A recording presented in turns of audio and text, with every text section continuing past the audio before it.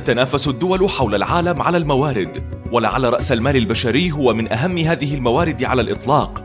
وحين تشهد دولة ما موجة متواصلة من هجرة مواطنيها من أصحاب المهارة والكفاءة بحثا عن فرص في مكان آخر فإن هذا ينعكس سلبا على اقتصادها ويؤخر نموها وتعرف هذه الظاهرة بهجرة الأدمغة.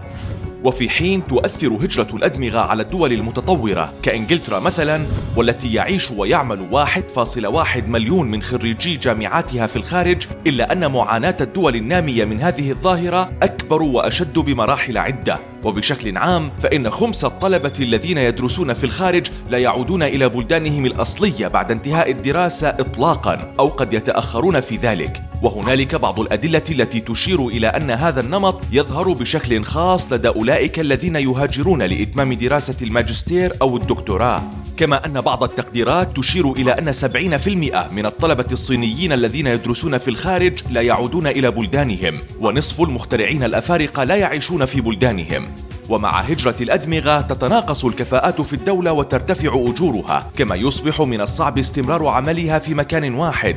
وذلك لأن الشركات ستتنافس على استقطابها مما سيرفع تكلفة توظيفها. وقد يندفع البعض إلى التعامل مع هجرة الأفراد المتعلمين إلى الخارج عن طريق الحد من مبادرات التعليم. وهذا أمر قد تكون له آثار جانبية سلبية.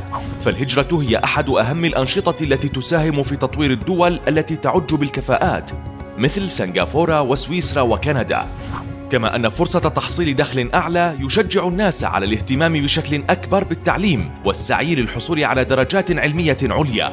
ثم إن هجرة أولئك الذين يدخلون في طبقة الكفاءات قد تحفز تطوير رأس المال البشري. وإن عادوا إلى بلدانهم التي هاجروا منها فإنهم سيجلبون معهم مهارات ومعارف وشبكات مهنية تحقق النفع لها. ولكن قصص النجاح في التعامل مع ظاهرة هجرة الأدمغة لم تركز على الحد من مبادرات التعليم في الخارج بل ارتبطت بعوامل أخرى لا تتعلق بالضرورة بسياسات الهجرة كالنمو الاقتصادي القوي والاستقرار السياسي.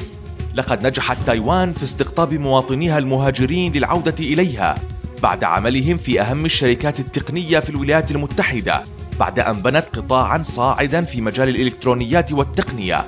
بالاعتماد على أساليب أخرى منها أولاً التواصل وبناء شبكات فعالة مع المهاجرين التايوانيين في الخارج لتشجيعهم على العودة.